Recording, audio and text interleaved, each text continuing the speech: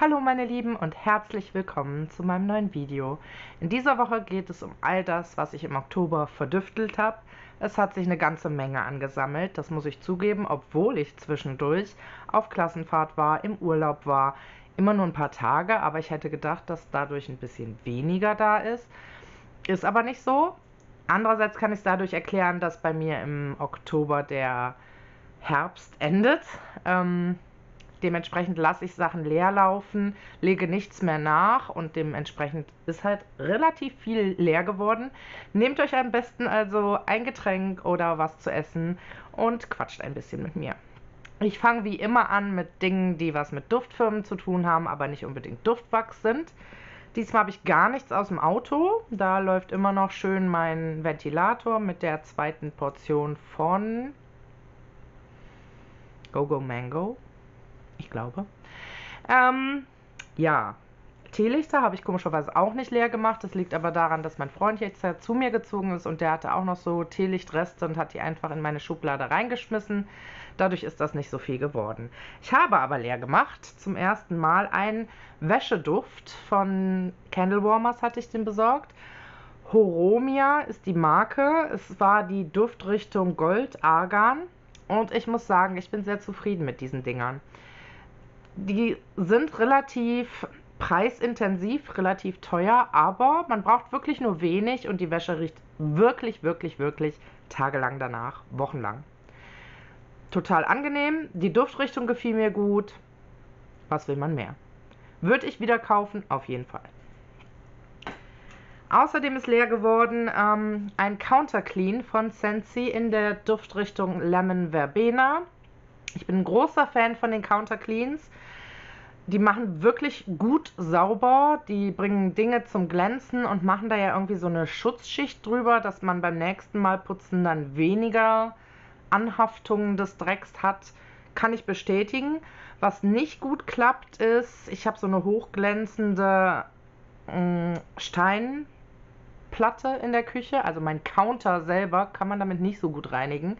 Da wird das leicht schlierig, schmierig. Aber alles andere, super. Ich habe das sogar schon ins Putzwasser gegeben und muss sagen, ich bin begeistert. Und der Duft ist wirklich super schön. Den mag ich sehr, sehr gerne.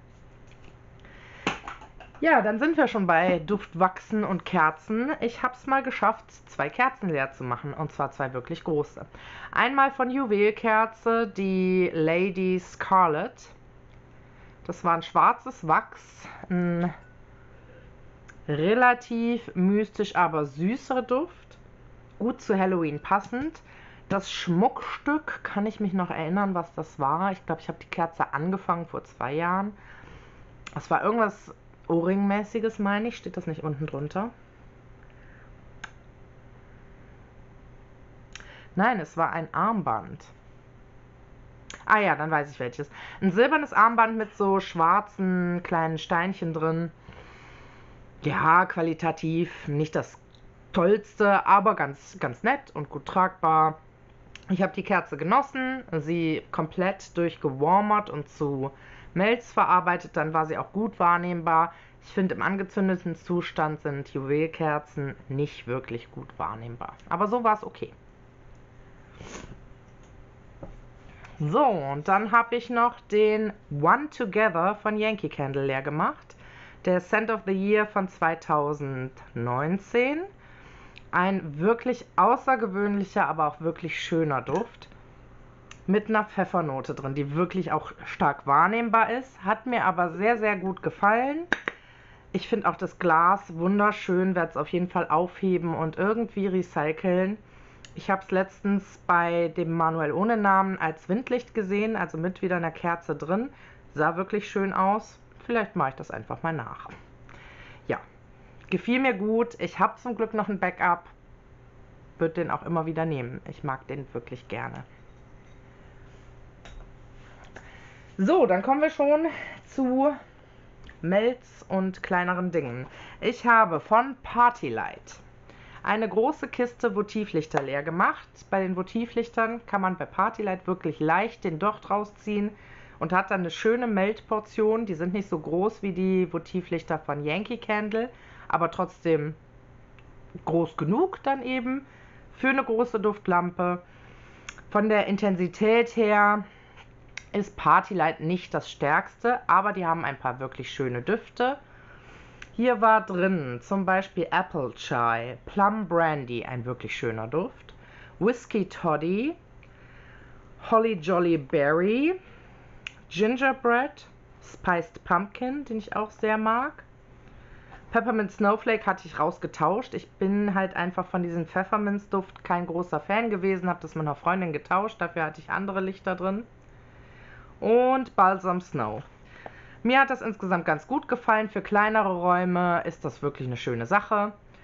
Ist aber auch okay, dass es jetzt weg ist. Ich muss nicht unbedingt Partylight nachkaufen. Wenn sich die Gelegenheit mal ergibt und ich zufällig bei so einer Party eingeladen bin, würde ich aber auch nicht Nein sagen. Genauso habe ich von Partylight einen 6er-Pack Votivlichter leer gemacht in Goldbirke, Golden Birch. Ähm, ein Duft, der mir immer sehr, sehr gut gefällt. Ähm, leichte Marshmallow-Note, also was Süßes, über einem Birkenholzfeuer geröstet, holzig, ganz, ganz leicht rauchig. Ein wunderschöner Duft, den mag ich gerne. Die Votivlichter waren ein bisschen alt. Er war nicht so gut wahrnehmbar, wie ich das sonst von der Goldbirke gewohnt bin, die wirklich gut ist von Partylight. Trotzdem würde ich den Duft immer wieder nachkaufen, weil es einer meiner absoluten Lieblingsdüfte überhaupt ist. Ja, anderen kleinen Kram. Von Woodwick habe ich diesmal zwei Dinger leer gemacht. Einmal Fig, Feige. Mal kein Holzduft, obwohl es von Woodwick ist. Ja, es ist ein nicht so süßer Feigenduft. Das habe ich an ihm wirklich geschätzt. Ich fand ihn aber verglichen mit den holzigen Noten, die ich von Woodwick gut kenne, weniger stark. Das muss ich zugeben. Trotzdem war er schön und gut wahrnehmbar. Ich habe ihn genossen. Würde ihn wieder benutzen, wenn er mir in die Hände fällt, aber nicht gezielt kaufen. Und das andere war Pomegranate, also äh, Granatapfel. Auch ein fruchtiger Duft, kein holziger. Der war ein, ein Touch süßer, würde ich sagen. Auch eine schöne Note, gut wahrnehmbar aber würde ich auch gezielt nicht kaufen. Ich finde einfach Woodwick zeichnet sich durch seine Holzdüfte aus und die mag ich besonders gerne. Die hier sind okay. Ich würde sie immer wieder nehmen, wenn sie mir in die Hände fallen oder günstig irgendwo zu kriegen sind. Gezielt kaufen oder danach suchen oder gar eine Kerze kaufen würde ich aber nicht. So, dann kommen wir mal zu den Clamshells, die ich ähm, immer wieder nachfülle, weil ich die Kerzen habe. Und ich schmeiße die Hälfte auf den Boden. Naja, wir fangen mal an mit Yankee Candle Be Thankful, einem Thanksgiving-Duft. Ähm, der ist würzig und fruchtig, hat eine sehr schöne Note. Ich finde ihn ein bisschen dezent. Dafür, dass er kalt so stark riecht, ist er dann warm, gar nicht wirklich so furchtbar raumfüllend oder langanhaltend. Trotzdem schön und ich bin froh, dass ich davon noch was habe und mir das wieder auffüllen kann für den nächsten Herbst. Village Candle Leatherbound ist in letzter Zeit immer wieder dabei. Ist ein schöner, parfümig, ledriger Duft, der leicht eben auch an eine Bibliothek, an alte Bücher erinnert.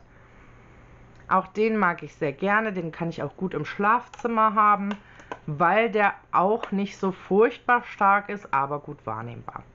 Den mag ich auch sehr gerne. Ich glaube, ich habe noch anderthalb Gläser. Werde ich weiterhin benutzen. Woodwick Warm Woods. Ähm, ein gemischter Holzduft, warme Hölzer, parfümige Hölzer sehr, sehr schön. Ich, wie, wie ich eben schon gesagt habe, die Woodwick-Düfte mag ich besonders eben, wenn es so Holzdüfte sind. Das können die richtig gut. Da kommt auch kaum einer ran, finde ich. Wunderbarer Duft. Dadurch, dass das aus so einer Kerze kommt, ist das Wachs ein bisschen weich und manchmal schwierig zu dosieren. Aber insgesamt bin ich froh, dass ich davon auch weiterhin düfteln kann. Dann geht es weiter mit Goose Creek, Burlwood and Oak Auch ein holziger, leicht männlich parfümiger Duft, den ich sehr gerne mag. Man sieht hier übrigens beide Label, die Goose Creek da bisher benutzt hat. Ich finde dieses hier ein wenig schöner. Das hier ist mir zu dunkel irgendwie. Aber aufs Label kommt es nicht an. Beide sind trotzdem schön. Die Idee mit den Schlüsseln finde ich richtig gut. Und der Duft ist einfach Wahnsinn. Ich habe dieses Clamshell zweimal, weil ich es einfach viel benutze immer wieder. Ja, und ich fülle mir das immer wieder nach. Mag das sowohl im Schlafzimmer als auch im Wohnzimmer wirklich gerne. Und werde es weiterhin benutzen. Ebenfalls von Goose Creek Autumn in Amsterdam. Ein Duft, der gar nicht so herbstlich ist, wie er aussieht. Wunderschönes Label. Wachsfarbe ist halt dieses Blau. Auch wunderschön.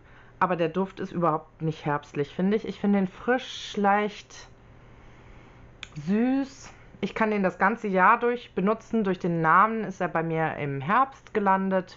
Finde ich auch immer mal wieder gut, dass man da nicht nur so würzige Apfel, Pumpkin-Düfte hat oder holzige Sachen, sondern auch mal sowas Frisches. Genieße ich jedes Mal aufs Neue. Auch davon habe ich noch reichlich auf Vorrat. Mm, und auch den werde ich mir natürlich für nächstes Jahr wieder auffüllen. Kringle Candle Covered Bridge, einer meiner liebsten Kringle Candle Düfte im Herbst, ist ein auch wieder leicht maskuliner, natürlicher Duft. Frisch, weniger holzig, sondern eher so, ja, frische Luft, mm, ein Herbsttag draußen. Wunder, wunderschön, mag ich sehr, sehr gerne, freue ich mich auch im nächsten Jahr wieder drauf. Fireside Treats, ein weiterer Marshmallow-Duft, leicht getoastet über einem Lagerfeuer. Süß plus holzig, genau meine Linie. Leider gibt es den nicht mehr im Standardsortiment, sonst würde ich den auch immer wieder nachkaufen. Ich habe noch ein bisschen was hier und freue mich, das weiter benutzen zu können. Bath Body Works Leaves. Ein Duft nach bunten Blättern, die entweder noch am Baum hängen oder frisch gefallen sind. Eine leichte Fruchtnote mit drin. Das ist, glaube ich, ein Apfel. Total schön, herbstlich, mag ich sehr, sehr gerne. Und Bath Body Works, das sind immer richtige Powerhäuser. Richtig stark, richtig gut und lange wahrnehmbar. Goose Creek Cozy With You ist ein kuscheliger Duft, ein Kaschmirduft würde ich sagen, mit einer leichten Schokoladennote. Mag ich sehr, sehr gerne im Schlafzimmer. Gefällt mir. Ich bin immer noch dankbar, dass ich diese Kerze mal von einer Kollegin bekommen habe und freue mich jedes Mal und denke jedes Mal an sie. Goose Creek Royal Autumn. Ich glaube, die Kerze habe ich von der lieben Serpil bekommen. Ich mag auch den wirklich gerne. Der ist allerdings äh, ein, ein, schwerer, parfümiger Duft, den ich am liebsten hier im Büro anhabe. Da finde ich, kommt er richtig gut raus. Einen richtig großen Raum schafft er nicht, finde ich. Mein Empfinden, also im Wohnzimmer, bringt es nicht.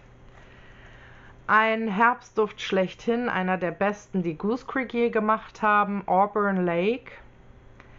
Auch den hole ich mir regelmäßig aus der Kerze raus. Ja, ein sehr außergewöhnlicher Duft. Bunte Blätter, trockene, kühle Waldluft und mega stark. Mega gut in der Performance. Ich mag den sehr, sehr, sehr gerne. Wenn ich den nochmal irgendwo sehe, muss ich ihn nachkaufen, weil ich bin an meinem letzten Glas und das geht gar nicht. Das geht gar nicht. Yankee Candle um, A Night Under the Stars. Ein Herbstduft, ich glaube aus dem letzten Jahr, wo ich damals dachte, das wird mein Lieblingsduft aus der Reihe. Mm -mm. Ist er nicht geworden. Er ist schwach. Ich finde ihn wirklich schwach. Er ist schön, er ist mystisch. Ich finde ihn leicht, ganz leicht maskulin. Aber er ist schwach den kann ich auch nur in kleineren Räumen, Bäder, vielleicht noch das Büro oder das Schlafzimmer benutzen, aber niemals im großen Wohnzimmer. Da verpufft er total, was ich schade finde, denn eigentlich vom Geruch her würde der für mich da sehr gut reinpassen. Der Gegenspieler, dessen Label man kaum noch lesen kann, ähm, Yankee Candle Warm and Cozy aus derselben Reihe. Damals habe ich gedacht, das ist der schlechteste Duft aus der Reihe. Das ist mein absoluter Lieblingsduft geworden.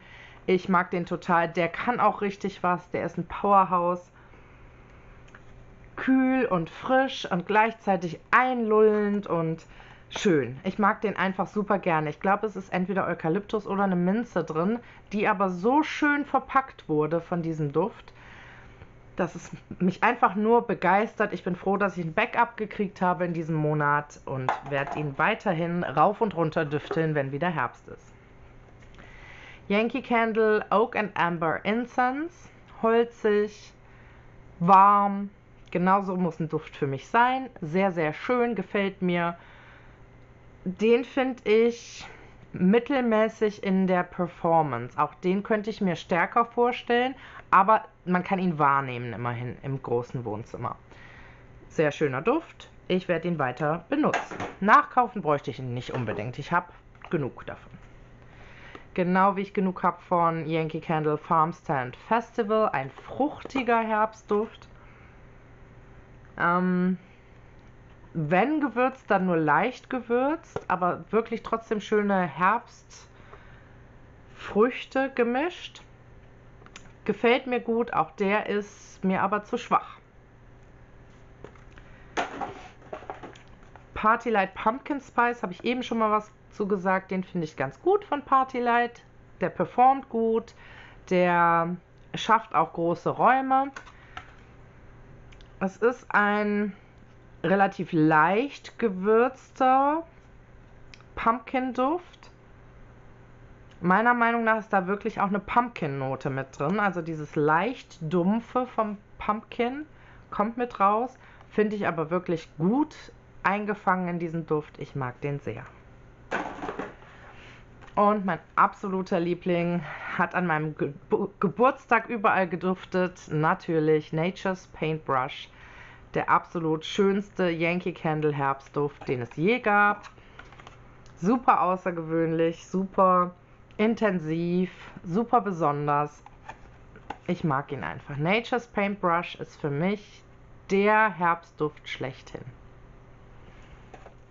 Dann kommen wir jetzt zu den Original Clamshells, die ich hier so rumliegen habe. Ich fange an mit Goose Creek Blueberry Cake Donut. Eine sehr süße und für mich schon fast parfümige Blueberry Note. Nicht wirklich foodie, nicht wirklich stark. Ich weiß nicht, vielleicht ist das auch ein Montags-Clamshell gewesen. Das ist nicht meins, das würde ich nicht nachkaufen. Bin froh, dass ich das so testen konnte. So komme ich nicht in die Versuchung, es nachzukaufen.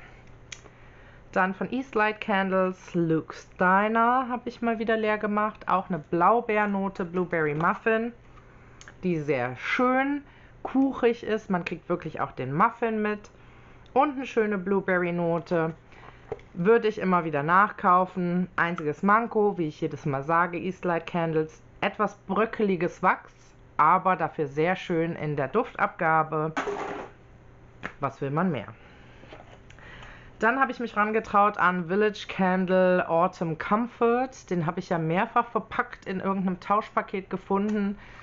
Ich weiß nicht warum. Vielleicht, weil er wirklich im Clamshell stark und ja, komisch würzig riecht. Mm. Warm fand ich ihn nicht mehr so stark. Die Note war einfach warm und würzig, ja. Ich würde ihn mir nicht nachkaufen, aber ich fand ihn auch nicht schlimm.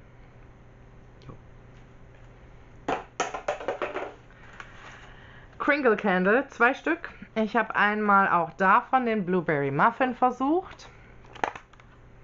Und auch dieser Blueberry Muffin konnte mich nicht überzeugen. Der holt mich einfach nicht ab. Es ist wieder eine parfümige Note für mich und nicht so wirklich Muffin. Ich weiß nicht, ob meine Nase da im Moment verkehrt ist. Vielleicht hattet ihr mal irgendeinen dieser Blaubeer-Gebäcknoten und könnt mir was dazu sagen. Goose Creek und Kringle Candle rochen für mich eher parfümig und waren auch beide nicht stark. Ich weiß nicht, was ich da falsch mache. Es ist wahrscheinlich mein Sinken.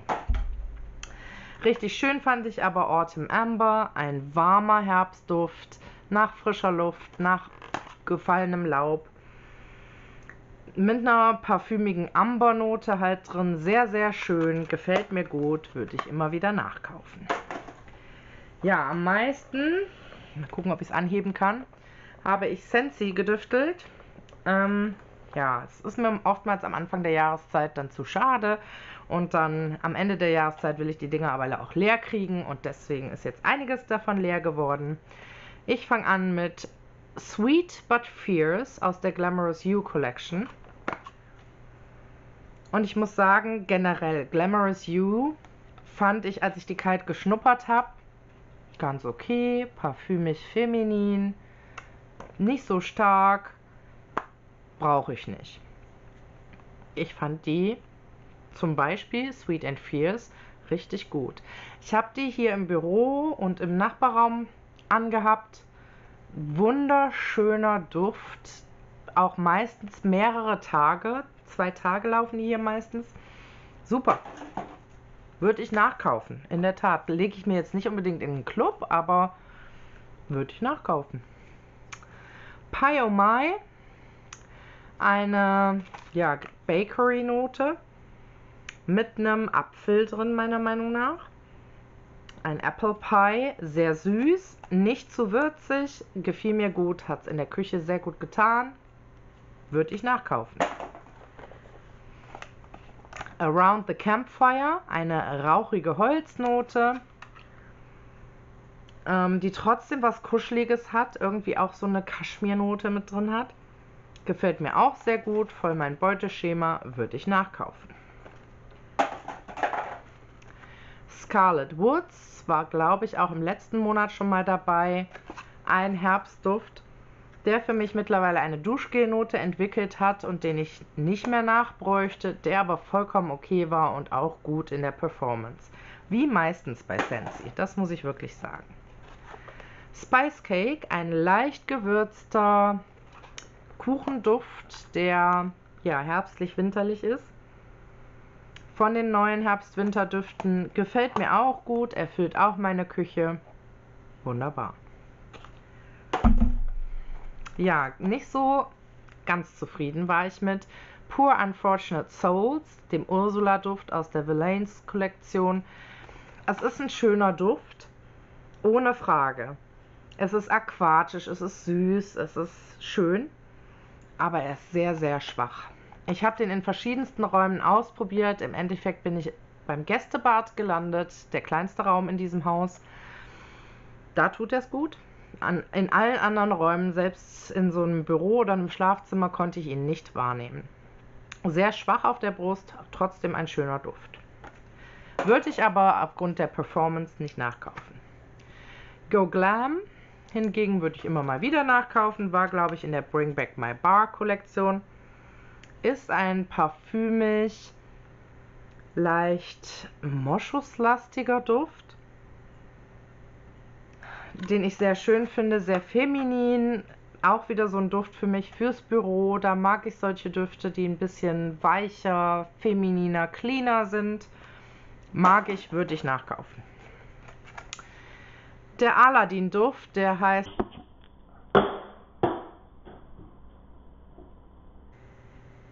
Moment. Der Aladdin-Duft der heißt Three Wishes und erfüllt bei mir auch mehr als drei Wünsche. Er ist klebrig, süß. Er riecht für mich nach Kaubonbon, nach so einem Mauern, Kirsch oder Himbeer, so einem roten Mauern. Er ist stark, er performt gut. Der Bar ist hübsch, würde ich jederzeit nachkaufen. Ich glaube, der liegt bei mir im Club, da darf er auch eine Weile drin bleiben. Schöner Duft. Und zu guter Letzt die Mistress of Evil, ähm, Maleficent. Ein Pflaumenduft. Sehr herbstlich trotzdem, irgendwie sehr mysteriös. Ich mag den. Der könnte für mich noch ein Touch stärker sein, aber der ist wesentlich stärker als Ursula. Würde ich demzufolge nachkaufen? Auf jeden Fall. So, ich habe in der Zwischenzeit mal das Akku ein bisschen geladen. Meine Kamera will bei diesen Drehmarathons nicht mitmachen. Habe mir einen Kaffee gemacht und werde jetzt noch den ganzen Kleinkram mit euch zusammen reviewen. Ähm, ich versuche es so schnell wie möglich zu machen. Ich habe hier so einen, einen, Korb, wo einiges drin ist noch. Ähm, habe auch meinen Müll geleert. Lasst uns anfangen. Ja, größere Kleinsachen sind noch diese alten Mini-Clamshells von Kringle Candle. Da hatte ich einmal den Brandied Pumpkin, ein sehr, sehr außergewöhnlicher Pumpkin-Duft. Durch diese Brandy-Note, eine leicht alkoholische Note, wirklich schön. Leider war, glaube ich, dieses Melt sehr alt, sodass es nicht mehr stark wahrnehmbar war, aber der Duft an sich ist super schön. Wenn es das mal in diesen neuen Clamshells geben würde und frisch aufgelegt, würde ich das auf jeden Fall nachkaufen. Ein sehr, sehr besonderer Duft. Dann habe ich noch eins davon gehabt. Wo ist es denn? Da. Kitchen Spice. Ja, Kitchen Spice ist eine Würzmischung für die Küche. Sehr zimtlastig. Aber auch sehr, sehr schön. Ich mag den auch von Yankee Candle sehr gerne. Kringle ist quasi genauso gut. Das war auch noch gut wahrnehmbar, obwohl es diese alte Clamshell-Art ist. Würde ich jederzeit wieder nehmen. Dann habe ich von Traumdüfte Clementine oder Clementine. Ist ja so ein, eine Art von Mandarine. Und die, das ist auch wirklich so ein, ja, ein Duft, der mich immer an Nikolaus erinnert. Früher hat der Nikolaus immer in die Stiefelchen Mandarinen und Nüsse gepackt. Und es riecht ein bisschen so, ja. Ein sehr authentischer Clementinenduft. Sehr, sehr schön, gut wahrnehmbar langanhaltend. Dann habe ich noch auch von Traumdüfte, aber kaum noch erkennbar, war mir nämlich irgendwie mal hinter die Schublade gefallen, ist wieder aufgetaucht, musste ich dann mal wegbrauchen, weil vermutlich sehr alt. Ähm, Traumdüfte Pink Petals Tea Cake, obwohl es älter war, vermutlich, steht was drauf, wann es hergestellt wurde. 23.09.2019, sehr gut wahrnehmbar, ein sehr schöner Bakery-artiger Teeduft. Wirklich schön. Gefiel mir gut, leicht feminin, doch durch diese Pink Petals. Ein wirklich schöner Duft, würde ich jederzeit wieder nehmen. Ja, jetzt gehe ich total durcheinander durch meine Tütchen und Tartverpackungen. Ähm, Yankee Candle Warm Lux Cashmere. Hatte ich in einer Tartform mal bekommen, in einem Tauschpaket. Ein schöner mh, Kaschmirduft halt, ne? Sehr weich, sehr umhüllend, gefiel mir. War auch von der Performance her wirklich okay. Dann habe ich Crisp Campfire Apples, ein Votivlicht leer gemacht. Ja, ähm, leicht geröstete oder ja, getoastete Äpfel über einem Lagerfeuer. Schöner Duft, sehr herbstlich. Bridgewater Remember When. Hatte ich in einem der Bäder an. Und war auch ein sehr schöner Duft. Und auch wirklich langanhaltend. Das hat mich gewundert. Ich hatte wirklich nur einen so einen Knubbel und der war wirklich, wirklich gut. Mal kurz einen Schluck Kaffee nehmen. Mmh. So gut. Dann habe ich mich mal durch meine Sensi-Proben der Herbst- und Winterdüfte durchge getestet.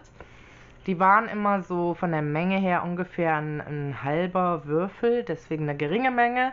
Habe ich die immer in den Kellerabgang quasi gemacht, sodass man das riecht, wenn man runter geht.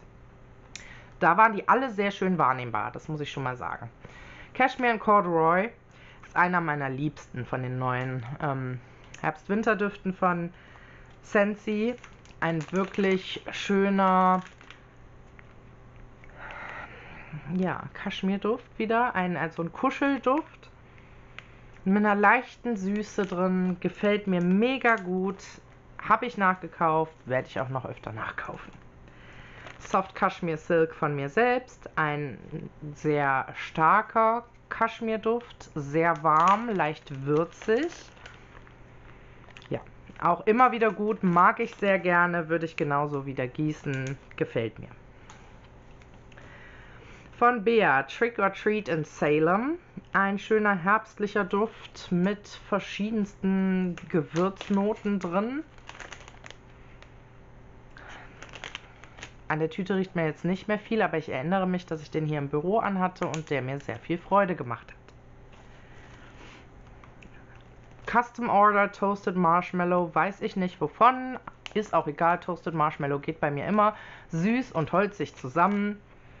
Wunderbar, rieche ich auch jetzt noch, sehr schöner Duft. Kaschmir von Liebe zum Handmade. Gefiel mir auch sehr gut. War eine relativ kleine Menge. Hatte ich, glaube ich, wieder im Bad an. Ja, und ist ein, ein relativ durchschnittlicher Kaschmirduft. Gefällt mir. Würde ich wieder nehmen. Sensi Vanilla Bourbon. Ein maskuliner Vanilleduft. Ich glaube, der war auch aus der Männerkollektion vom Vatertag. Ähm, ich fand den allerdings für die warme Performance nicht besonders stark. Duft an sich schön, Performance war mir zu schwach. Dann habe ich hier Portweinfrüchte von Wohlfühlmomente. Ein sehr schöner, fruchtiger Duft, relativ stark. Auch jetzt noch sehr, sehr gut im Tütchen wahrnehmbar. Ja, würde ich wieder nehmen. Auf jeden Fall. Country Candle Maple Sugar Cookie. Weiß ich gerade nicht. Doch, der war auch wirklich schön herbstlich. Ähm, man, man bekommt wirklich diese Maple Syrup, also Ahornsirup, ähm, Note mit. Sehr, sehr schön. Das war lang anhaltend. Das hat mir sehr gut gefallen. Jederzeit gerne wieder. Der Mighty Dragon von Frage. Ich weiß es nicht. Village Candle. Ähm, den hatte ich im Bad an und den fand ich nur so durchschnittlich. Ich bräuchte den nicht wieder. Es war eine nette Duftrichtung, aber für mich nichts Besonderes. Dragon's Kiss von mir selbst ist eine Mischung aus Toasted Marshmallow und ja, wie heißt denn dieses Drachenblut, Dragon's Blood. Gefällt mir gut in der Mischung, würde ich auch immer wieder so herstellen. War stark, war lang anhaltend. Genauso müssen Duft-Tarts für mich sein. Sensi Marshmallow Mint Cocoa. Ein minziger Kakaoduft. Auch sehr schön, aber auch zu schwach. Ich hatte allerdings auch nur einen Cube. Vielleicht, wenn man da eine größere Menge von nehmen würde, wäre das besser. Dann Happy Melts, Coffee and Caramel Cream. Keine Erinnerung. Vielleicht hatte ich den gepaart mit dem anderen Kaffeeduft in der Küche. Ja, ich rieche auch nichts mehr. Kann ich nicht viel zu sagen. Hier ist noch ein Soft Cashmere Silk von mir. Und wieder so eine Sensi-Probe. Und zwar Cheerful Celebration. Ähm, hier steht auch nochmal die Duftbeschreibung. Ein helles und sprudelndes Jubiläum von spritziger Zitrone, saftiger Ananas und saurer Himbeere. Und diese fruchtigen Düfte habe ich am Anfang gedacht, hm, nicht so meins. Es ist mir zu fruchtig. Vielleicht noch eine Prosecco-Note drin. Hm, hm, Brauche ich nicht. Gefiel mir sehr gut. Habe ich mittlerweile nachgeordert. Dann eine Tüte ohne Namen. Auch immer gut. Blackberry Sandalwood, eine schöne Kombination aus Sandelholz und ähm, dunkler Beere. Wunderbar warm und ja, herbstlich, aber gleichzeitig fruchtig. Gefällt mir gut. Auch den habe ich nachgeordert mittlerweile. Dann haben wir noch Greenleaf Harlem's Spice Caramel Pumpkin. An den kann ich mich sehr gut erinnern. Den hatte ich im Wohnzimmer an, obwohl das nur ein Cube war. War das mega gut wahrnehmbar und lang anhaltend. Hat mich total erfreut. Würde ich jederzeit wieder nehmen. Habe ich gar nicht so auf dem Schirm, diese Firma, aber der Duft war echt gut. Dragon's Kiss. Habe ich schon drüber geredet, brauche ich nicht nochmal. Chestnut Hill S'mores. S'mores ist ja dieses Marshmallow zwischen Graham Crackern, glaube ich, und Schokolade noch auf dem Lagerfeuer geröstet. Mega dekadent, mega lecker. Aber Chestnut Hill hat mich da nicht ganz überzeugt, war nicht so mega gut wahrnehmbar für mich. Ein richtig toller Duft von Bea ist Blue Agava and Core Type. Den fand ich mega. Der hat mir mehrere Tage im Schlafzimmer wirklich schöne Duftstunden ah, gegeben und auch die Tüte riecht jetzt noch so himmlisch danach. Hm, ich mag den richtig, richtig gerne. Einer meiner liebsten Bea-Düfte. Gerne wiederherstellen, Bea. Ich kaufe den. Auf jeden Fall, der ist super. Witchy Woo Harry Potter Hagrid. Nein, Entschuldigung. Hedwig. Ähm, Hedwig war ein guter Duft. Ich habe ja mittlerweile einiges von Witchy Woo ausprobiert. Der war okay. Den mochte ich. Der, der roch so, ja, nach, nach Luft halt auch. Wirklich so, als ob die Eule halt durch die Gegend fliegt. Gefällt mir. Irgendeiner war aber dabei, der mir nicht gefiel.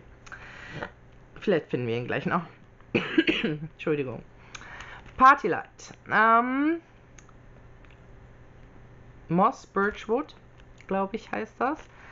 Äh, ein holziger Duft, der im Bad auch ganz gut seine Dienste geleistet hat. Gefiel mir. Nehme ich wieder, wenn ich den irgendwie mal bekomme, aber gezielt kaufen würde ich den nicht. Dann habe ich einen riesen Loaf zu Ende gebraucht von Tiffany Candles, die glaube ich mittlerweile anders heißen. Scarlet Rose Candles oder sowas. Ähm, ich kann nicht mehr wirklich lesen, was es war. Es war ein, eine Bakery-Note, leicht gewürzt, schokoladig, lecker, hat in der Küche rauf und runter gedüftelt und war immer noch sehr gut, obwohl es relativ alt war. Sensi Graduation gefällt mir gut. Gefällt mir wirklich gut. Hätte ich auch am Anfang nicht gedacht. Ich habe am Anfang diese ganze Kollektion ausgespart, hatte den dann mal als Probe in so einem Tauschi drin. Und der ist wirklich schön. Der gefiel mir gut. Würde ich wieder nehmen. Klasse. Eden Secret Dolly Rocker. Ein wirklich schöner Bakery-Duft. Mm. Süß. Ganz, ganz leicht gewürzt. Viel Vanille drin. Gefällt mir sehr, sehr gut. Würde ich jederzeit wieder kaufen. Gefällt mir. Auch gut in der Performance, was sie nicht alle sind. Autumn Magic von Eden Secret ist dieser ganz normale Autumn Magic Duft, den ich auch schon mal als Öl hatte, der relativ bekannt ist. Mag ich sehr gerne, hat nicht so gut performt von Eden Secret, muss ich zugeben. Schade drum. Dann habe ich hier Blue Sage und Tonka, auch wieder so eine Probe von Sensi. Äh, Mitternachtssalbei, schwarzer Lavendel und Tonkabohne. Eine maskuline, leicht holzige Note, sehr schön, gefällt mir. Veloutier Havana Café. Veloutier finde ich nicht besonders stark, ist aber ein schöner Duft. Ähm, eine leichte Tabaksüße drin. Gefällt mir. Ich wünschte, er wäre stärker. Dann würde ich ihn auch kaufen, so eher nicht. Yankee Candle Home Inspiration Pumpkin Chai Latte. Ich mag Pumpkin Chai. Also Chai an sich nicht so, aber alles, was mit Pumpkin ist, Pumpkin Spice, Pumpkin Chai, wunderbar. Genauso war dieser Duft auch wunderbar. Gefiel mir, würde ich jederzeit wieder nehmen. Nochmal ein Dragon's Kiss von mir. Dann habe ich ein Dried Lavender and Oak Votivlicht leer gemacht. Eine schöne Kombination aus Eichenholz und Lavendel. Genau richtig abgestimmt meiner Meinung nach rieche ich sehr, sehr gerne, obwohl ich an sich kein Lavendel-Fan bin. Die Kombination finde ich richtig gut. Richtig gut fand ich auch Juwelkerze Mr. Fox.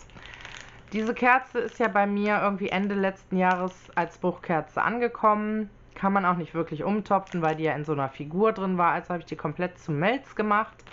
Die sind jetzt leer. Schade, denn die waren wirklich gut. Die waren sowohl in der Wahrnehmbarkeit, also in der Stärke gut, als auch in der Ausdauer.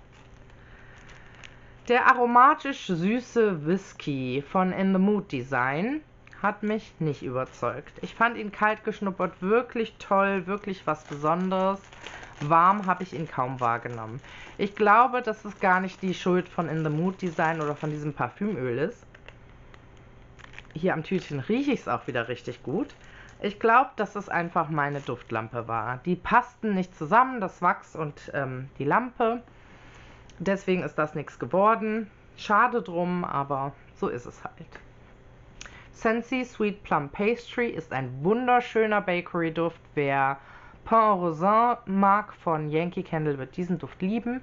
Er geht so in die gleiche Richtung, ist einfach schön, würde ich immer wieder nehmen.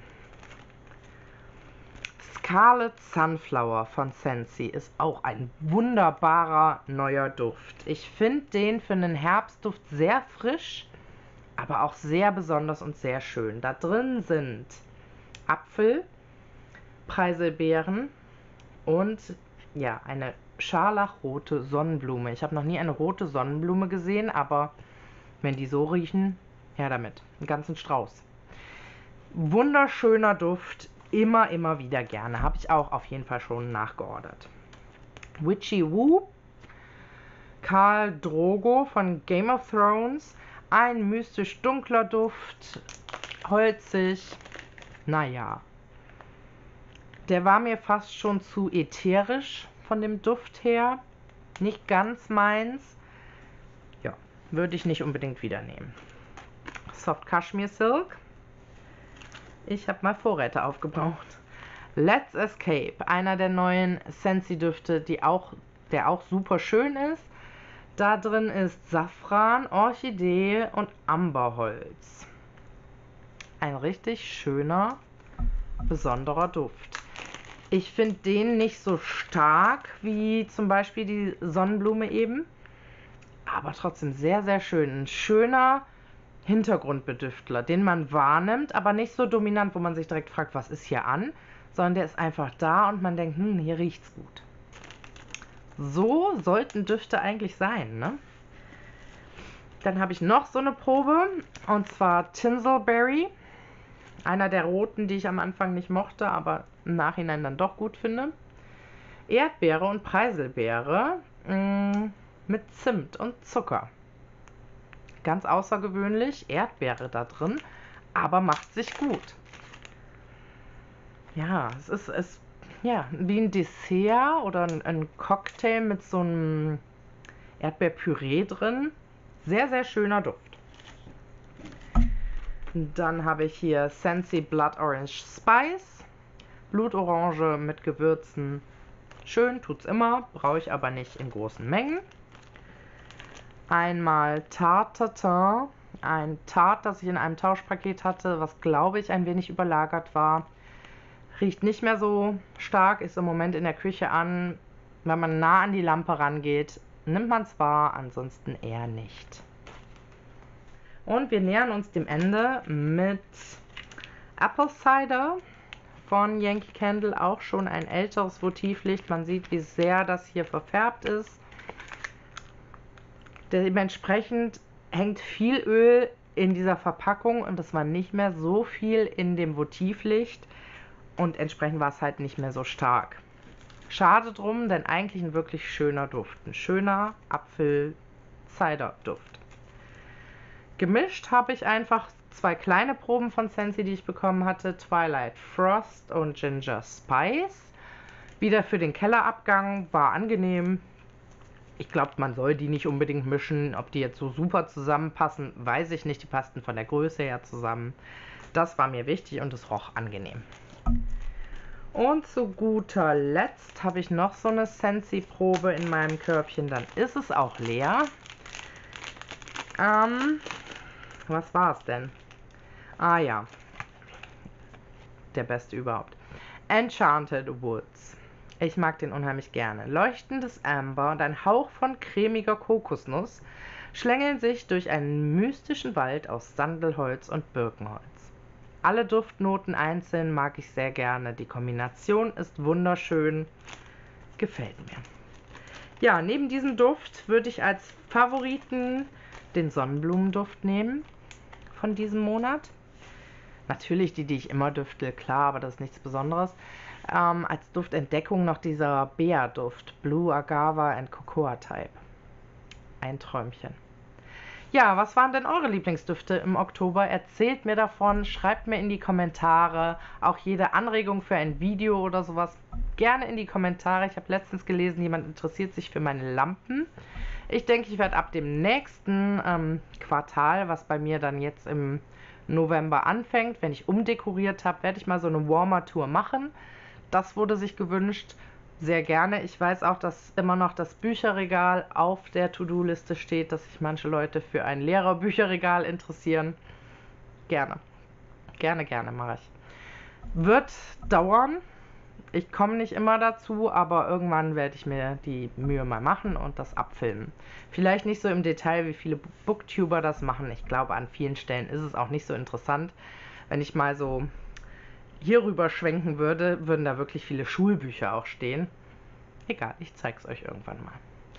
Ja, dann wünsche ich euch alles Gute bis zur nächsten Woche. Bleibt mir gesund, lasst es euch gut gehen, habt einen schönen Abend, einen guten Tag, eine wundervolle Nacht, wann immer ihr das Video gesehen habt. Bis zur nächsten Woche. Eure Petra.